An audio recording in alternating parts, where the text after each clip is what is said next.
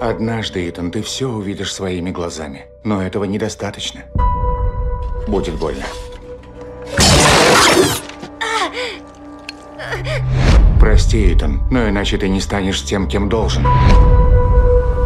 Растет уровень смертности, вызванный кислородным голоданием. Мировые СМИ окрестили этот феномен болезнью века. Год назад в моем классе было 20 детей. Сейчас их 10. Знаешь, чем здесь занимался твой отец?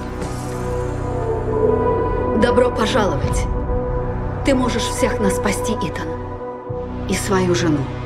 Мы получили послание из будущего. Будущего?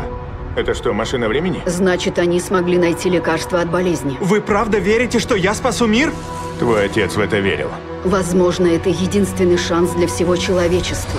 Десять, девять, восемь, семь, шесть, пять, четыре, три, два, один.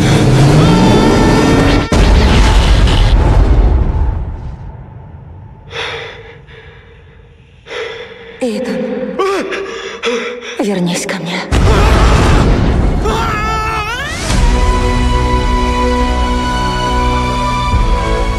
Надо найти тех, кто послал за мной. Мы в начале пути, который изменит все. Ты должен мне довериться. Речь уже не о лекарстве. Все гораздо серьезнее. Представь, что нас всех соединяет ткань Вселенной.